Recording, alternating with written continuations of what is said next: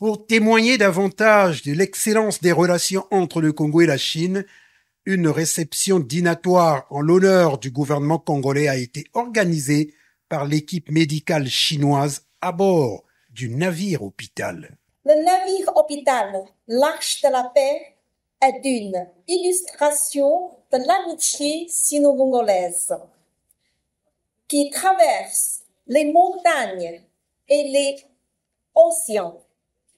Depuis l'établissement de leurs relations diplomatiques il y a 60 ans, la Chine et le Congo, quels que soient les alliés internationaux, ont avancé main dans la main et développé une coopération sincère, donnant ainsi l'exemple du développement des relations sino-africaines.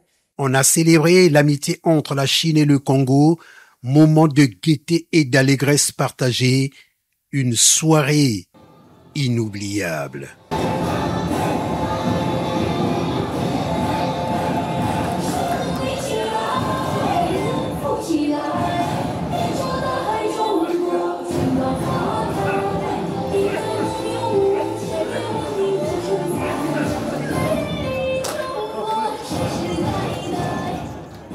La mission humanitaire Arche de la Paix qui s'inscrit dans le cadre de la mission Harmonie 2024 est la deuxième du genre à se rendre au Congo.